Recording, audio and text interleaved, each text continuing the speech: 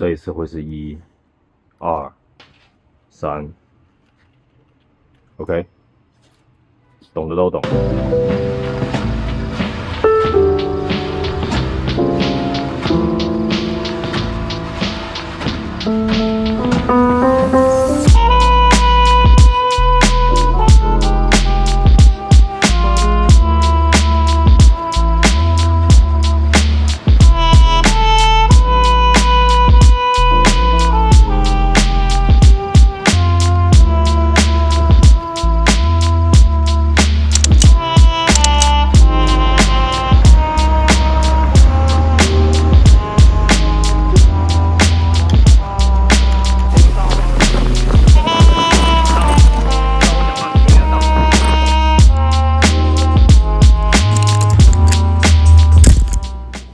欢迎回到频道。最近的影片可能会跟以往稍微有点不一样，因为家属突然间住院了，所以需要陪护一段时间。哦，那现在是已经出院的状态，就在家静养。最近一段时间的影片的呈现方式可能会有点不一样，大概率还是以我自己自拍为主。那整条影片的分享呢，我尽量会在不同的工作场景之间穿插着来跟各位结合实际的场景展示一下我最近收到的这两款包。那么首先跟各位说一下，这次更新的两个背包呢，其实都是。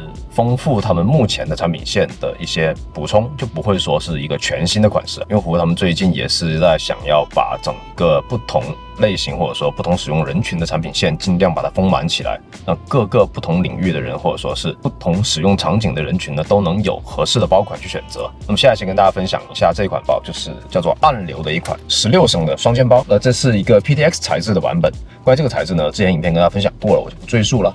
我稍微做了一点点改装，呃，个性化的一些添加，挂了一些小玩意。这是 COS 的小帽子，跟这个是同一个样子，很可爱。然后这一次他们还出了一个 PTX 材质的小零钱包，也很漂亮，超灵活，而且它正好能放一个卡片尺寸。这个挂板呢也是可以去选择的。不过我个人在使用这款包一阵子之后，我发现其实它更偏向于的定位还是一个真正的给上班族或者是单日城市通勤这样的场景去使用的。它有提供挂载的选择，就是可以挂挂板，两侧也有 Molly 可以装一些小的布包。但是我还是喜欢它干干净净、最原始的舒爽状态，就比较适合这个包的一个定位。十六升，最大支持到十四寸的轻薄笔记本。那么这样的一个使用场景呢，其实就真的是单日数码收纳，或者说是我们传统印象。中更偏向于的一个定位就是电脑包，但是它的整一个容积或者说它的设计思路更像是前代酸雨替代品或者说是优化版，然后它的尺寸和使用功能的方式更介于阵风以及毒刺这两款包中间，我觉得还挺有意思的。中间这一个位置的缺陷呢，很大程度上会被这款包弥补。首先就是它能够支持单双肩拆卸，像之前的酸雨一样，但是兼酸雨单双肩拆卸，尤其是变成单肩状态的话，背负感受没有特。别好啊！在这一次填充的棉，包括它整个背负系统的优化以及调整呢，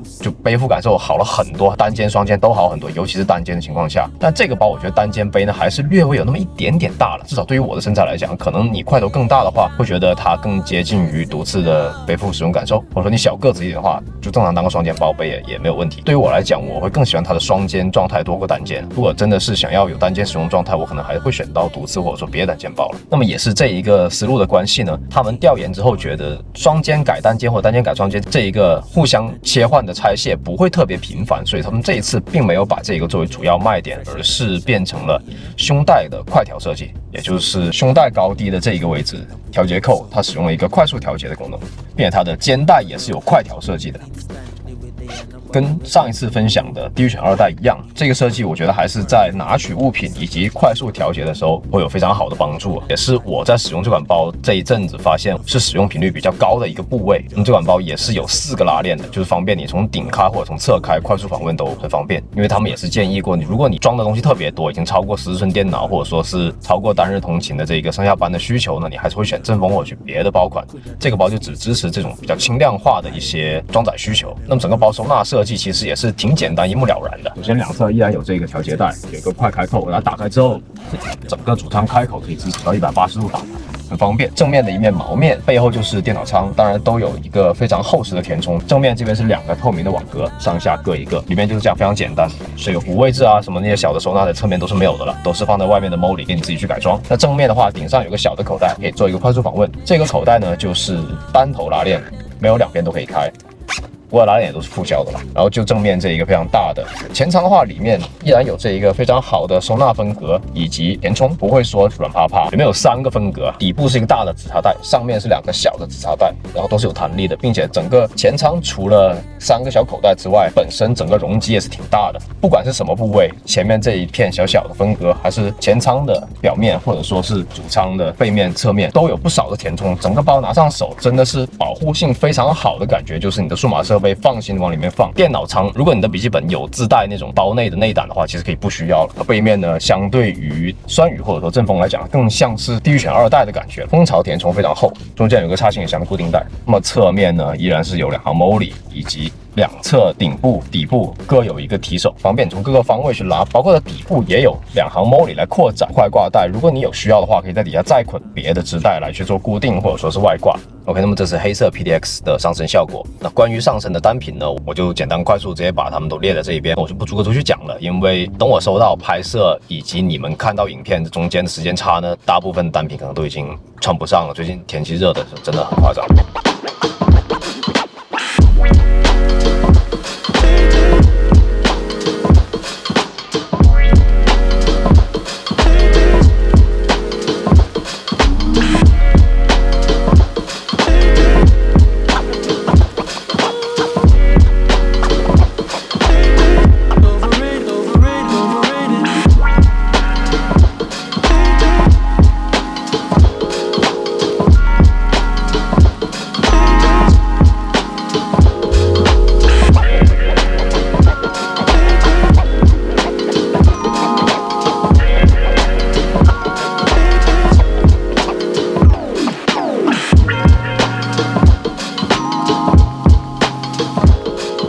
换个场景看下其他的配色吧。他们看出现在下雨了，现在在沙面，呃，刚把车停好。今天是来参加凯乐石的一个线下活动，他们地点选在沙面的一个呃，算是展厅之类的地方。沙面这其实地理位置挺好的，就是停车不太方便。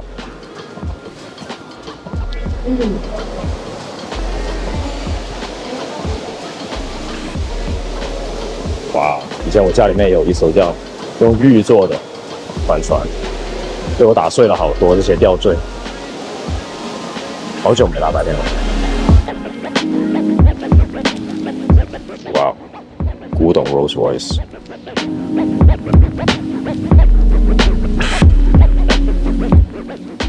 啊，by the way，大家看我眼镜有点不一样哦。现在这副 Taylor 的 Thick 已经配好我的镜片了，然后这一副是变色片，不过今天大阴天。嗯，不太看得出来变色效果啊，你戴着还挺舒服的。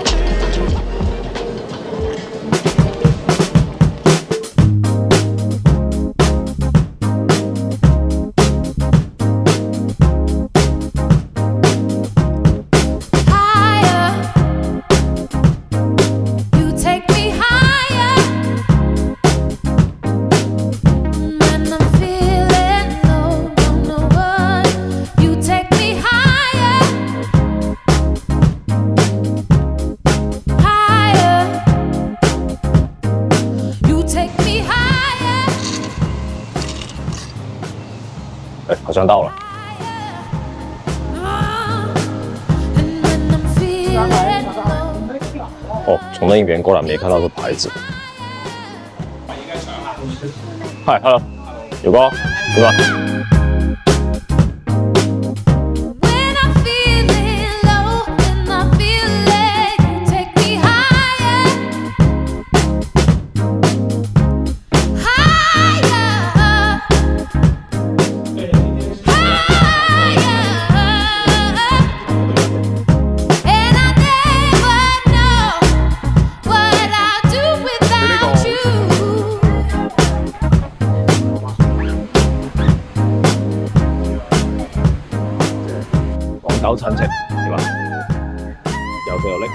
今天活动就大概这样子。然后现在趁着晚高峰前赶紧走，不然我怕倒不出不去了。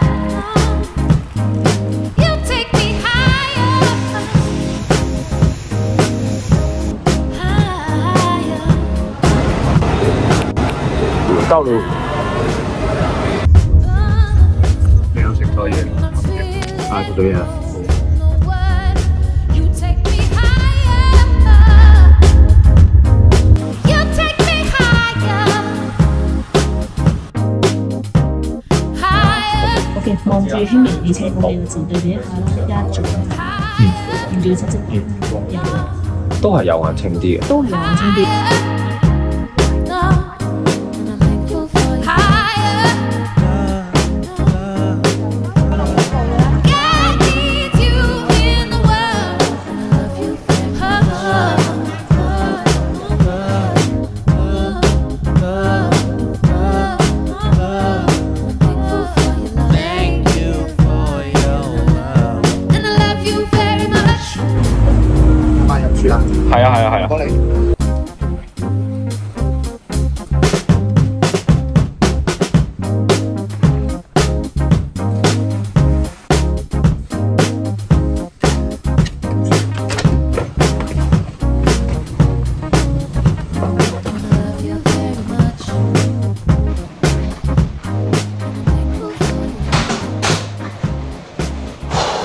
拖了一天的箱子，然后是把包放在箱子上面的。发现了一个我之前没有注意到的问题，在这里可能有必要跟各位说一下。首先就是，如果你们对我还有印象的话，之前有支持过能够放在行李箱上面的背包，大部分都是在背包。中间竖向有一个捆带，那么他们这一次的这款包呢，可能因为体积或者说是尺寸的关系呢，并没有做成竖向，而是横向的。大家可以看到，在中间一个横向的绑带，然后这绑带可能也是因为不想让它太突出啊，形成累赘的关系，所以做的比较贴合。我这个箱子的提手，我不确定它算不算是尺寸比较居中，或者说是更偏粗大一点点啊，它会有一点点顶在这个位置，套起来不是很好套，不过这倒不是大问题。这个位置提手的话，它卡在两个肩带中间。我的手伸进去拉这个箱子的提手会有一点点不便利。再一个就是，如果我可以把它拔高一点的话，这是最高，这样子这个肩带又会顶着它，或者你把两边掰，总之看起来也不是很舒服。放进去的话刚好，倒不是说不能克服的问题了，只是我觉得有必要跟各位说一下这个情况，因为之前的包包如果把包放在箱子上的话，它是其实是包是横向的。这样子重心也低一点，因为我现在这个包里面装的基本上都是拍摄用的相机，当然现在正在用着，然后以及我的电脑还有杂七杂八的数码设备，所以整个重量比较重。虽然它体积不是很大，它的重量应该相比于箱子来讲会更重一些，因为箱子是我要换洗的衣服，不会太重。这样子推远它，你可以看到它会有点头重脚轻的感觉，它会倒，然后这也就造成了我推，尤其是像酒店地毯比较软。我要很费力的推才能推得动，推久了手腕会有点酸。其实我也不确定各位你们出门的时候是怎样安排自己的东西呢？是重物一定会放底下吗？还是说，因为我不是很舍得数码产品放箱子，我觉得还是放包里会安全一点。那欢迎你们跟我分享一下吧。我再简单各位再 room tour 一下，虽然现在时间不是很早了。嗯，这一个房间在这栋楼的北塔，然后银河这边的话，它是连整个会议中心和演艺都一体式的，所以我这望出去是一个会展中心。一进来门口这一边是放行李箱的，然后先看一下洗手间。洗手间的话，它这个马桶是智能的马桶，然后有遥控器在这里，有给了一套这些什么东西。然后这个润肤乳，哎，一大支不错。然后顺便跟各位说一下今天的穿搭好了，帽子、衣服基本都是来自这个 Pin Skables 的，短裤也是，但你可能看不到。我觉得这身还不错，今天这个天气穿刚好。然后鞋子的话就是富嘎 DU UA 黑三。袜子是 hidden 的，比较简单一点。看一下浴室，这有个大浴缸，哇，这个设计也太刚好了吧，就差了一个手指。浴缸不是特别大，应该是坐着能伸直腿的尺寸。然后整个墙面还是 OK，这个大理石的石材，做了一个弧形。这是一体式的玻璃。这边淋浴也都是大支装。他们说 mini bar 这边的东西都是可以免费拿，但是再补充一次的话就要钱了。这是咖啡机，看一下。哦，茶咖啡。第二层是小零食。哦，哎，有一盒饼还不错。杏仁饼、蛋卷，有个杯面。下一层冰箱，OK，还可以吧，有点软饮什么的，不是很多。哎，免费的是这样。这个安达仕不知道各位觉得怎么样？就也不是说很豪奢，但是至少我来的这个时间定的这个价格，我觉得还能接受，大概不到一千块。就这样了，挺简单的。外面的景象不知道你们看不看得清啊？下面是是那个会展中心，看到一个白色的顶棚，然后隔壁是另外一个楼。OK，那今天就大概先这个样子啊，主要是探了一下朋友这一家米卡萨的眼镜店，也让他陪我逛了一下澳门简单老城区，因为我之前确实没有怎么逛过澳门老城区这一边啊。OK，那我们就明天见。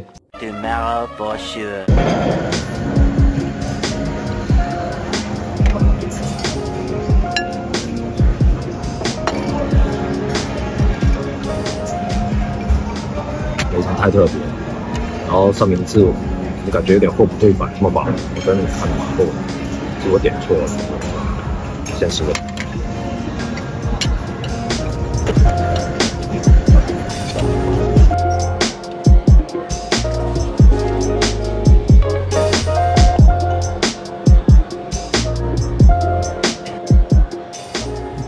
在香港或者澳门，其实经常可以看到很多人背着一个双肩包，不是特别大，其实跟这个差不多。然后就单日通勤吧，我觉得还是挺合适的这个尺寸。这个包使用场景还挺适合现在这个环境，至少我觉得。反正商场里面也不会说特别热，背着双肩包也不会觉得背后出很多汗这样。来看下今天穿搭发带是这一个 Halo Commodity。然后里面的衣服是 Lululemon，衬衣和裤子都是 Watch the Wind。这裤子还是有点这种消防员工装的感觉。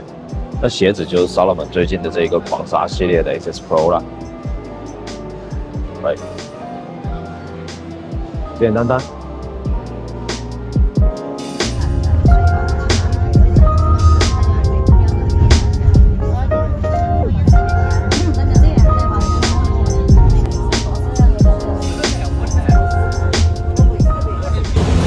大约十分钟，发车到到达还不错，蛮快的。然后往那边走，下去逛街。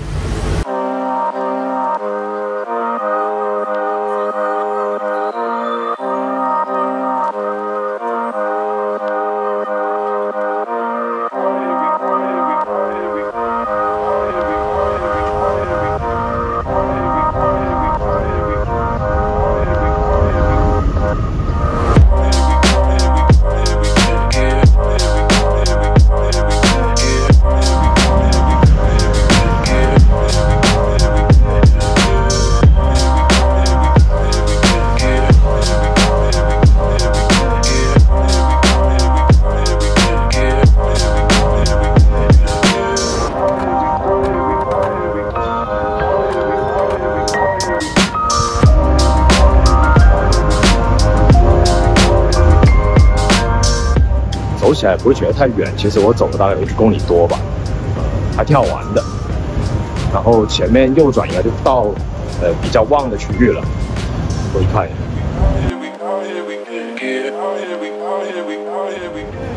谢。Hello。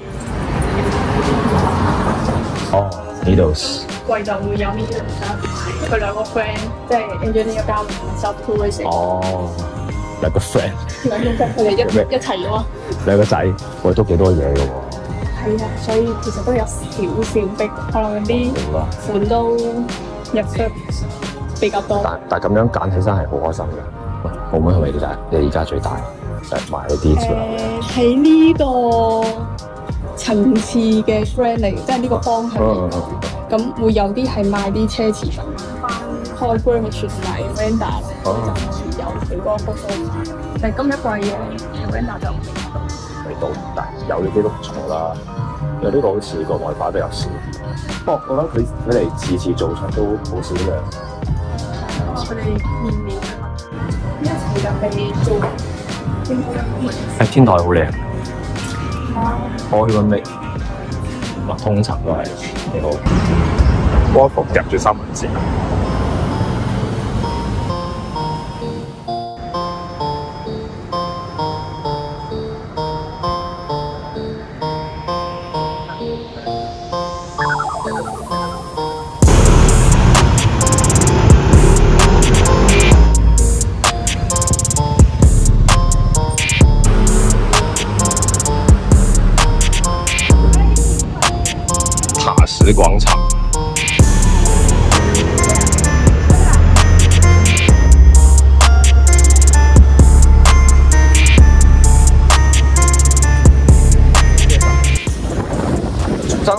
张场可以接伞，但是有关不想半关下，还好带了件包，我的包就包就没有办法没外面。我来回基本也都全防水的，不太担心。只是风大到紧张，知道我讲话你听得到。你看吗？我那个毛帽被吹走了。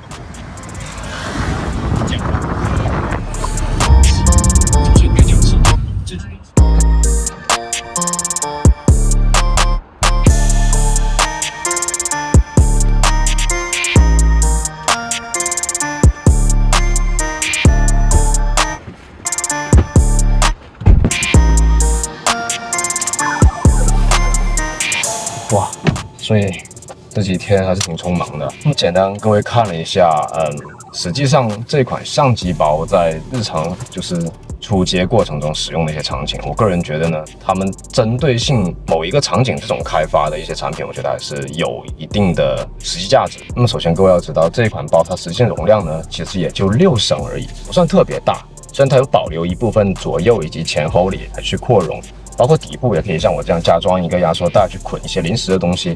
那实际上里面的空间呢，变化不是说特别大，基本上我现在拍摄这种一机一镜是恰好的，顶多再加一个小定焦或者是一些比如说补光灯啊、小的脚架、麦克风啊或者备用电池等等这些小配件。它整个定位可以说还是比较的机动性很强，就是轻量化一点，不会说特别重装的器材去使用的一个摄影包。那么再一个就是它这个开口的形状啊，实际使用的时候呢，会觉得它还是蛮大的，因为像之前很多朋友们都会喜欢拿他们拉斐尔二代的那款包来去做一个相机包，因为那款包其实某一些设计上还是挺适合摄影师用的，但是它毕竟不是一个专门针对于摄影或者说街头摄影和相机包这一个品类的使用场景去开发。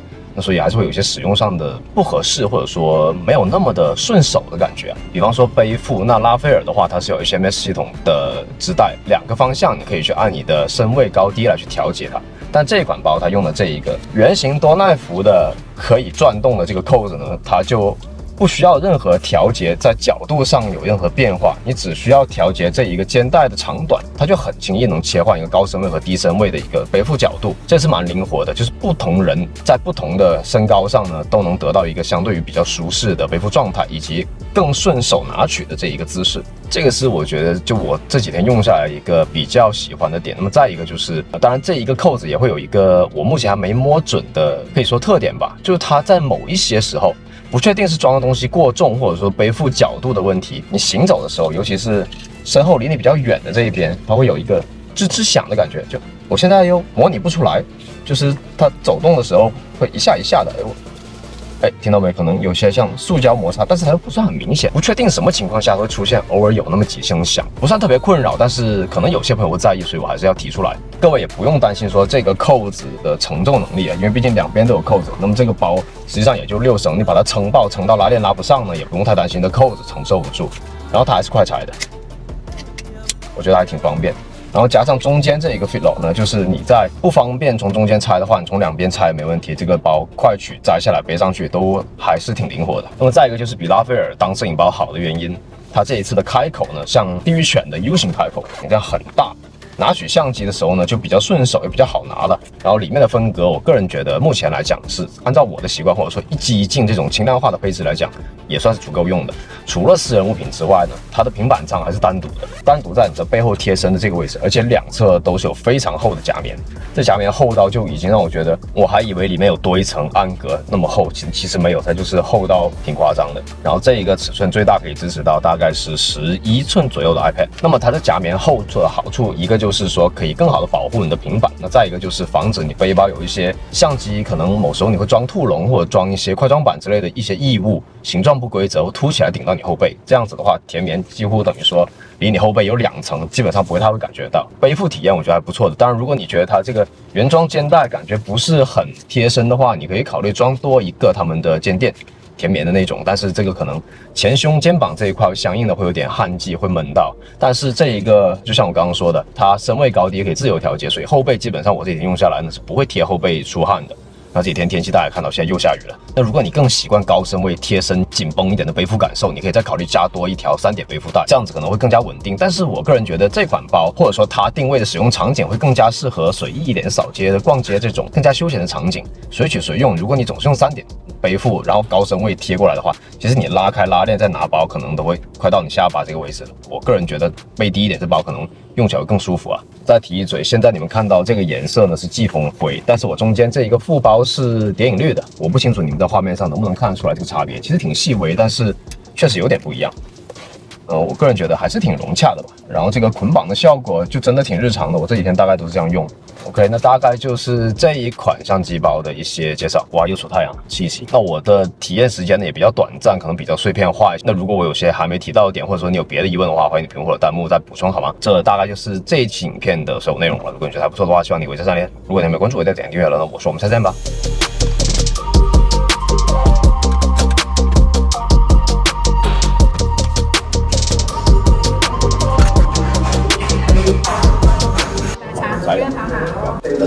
珠海同学推荐大家宝这个，我很早，我小时候吃的黑椒饭，超级辣的，不要三十块钱的米饭加了汤，然后料是带甜的，还差不多香脆。一喝就知道这是比较浓的淡奶加茶奶的口，然后加糖，不要糖。一闻就不用喝，就能闻到那个新鲜的青椒味。然后肉也很厚切，我这是猪排，我觉得好久没有吃过麻辣的黑椒，辣到有点连续吃，消化。